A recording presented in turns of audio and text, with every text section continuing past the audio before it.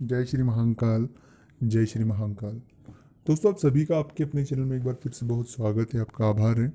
और यदि अभी तक आपने चैनल को सब्सक्राइब नहीं किया है, चैनल से आप नहीं जुड़े हैं तो प्लीज़ आप इस चैनल को सब्सक्राइब कर लें, चैनल से जुड़ जाए, ताकि आपको हमेशा सही और सटीक जानकारी मिलती रहे।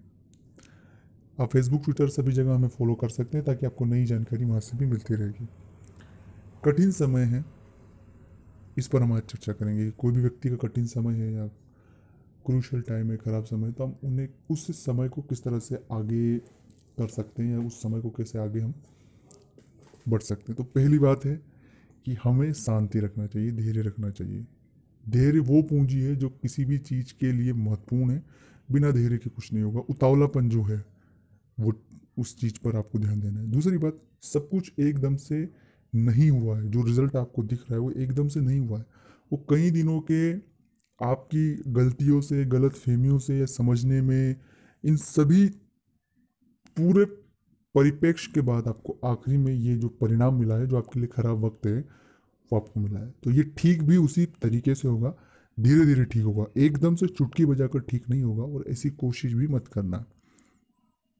वो धीरे धीरे ठीक होगा, उस वक्त में आप जिए, उस वक्त को महसूस करें, उसमें क्या क्या नई चीज़ें कर सकते हैं, उसमें बाहर आने के लिए क्या क्या चीज़ें उन पर ध्यान दें। तीसरी बात होती क्या है कि हम हमारा स्टेटस दिमाग में खुद के मेंटेन कर लेते हैं। आपको शून्य पे आना है। हम कुछ भी करने को तैयार से मतलब है, कोई भी काम छोटा नहीं होता है। जो भी काम मिले, उस काम को हमें करना है। और बेसिक जो हमारा थिंक होना चाहिए, वो होना चाहिए दो वक्त के गुजारे के ऊपर, न कि किसी और हाईटेक चीज़ों के ऊपर। जब आप दो वक्त के गुजारे को कर पाएँगे तो ऑटोमेटिकली आप इन तमाम जितने भी सुविधाएँ हैं, वो आपको मिलने लग जाएगी। और उन चीज़ों तक आप पहुँच जाएँगे, कोई बड़ी आपको समस्या नहीं होगी। तो ये जो बेसिक चीज़ें हैं इन पर आपको सही सही तरीके से एनालिसिस करना है।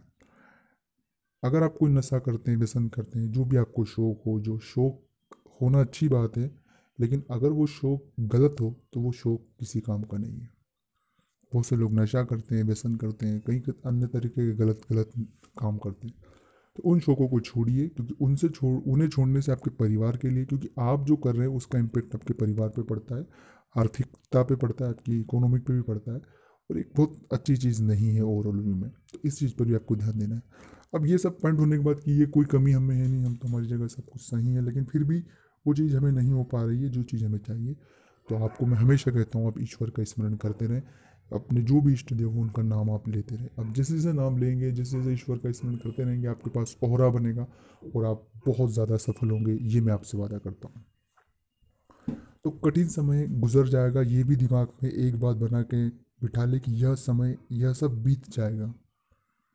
कठिन समय गुजर जाएगा।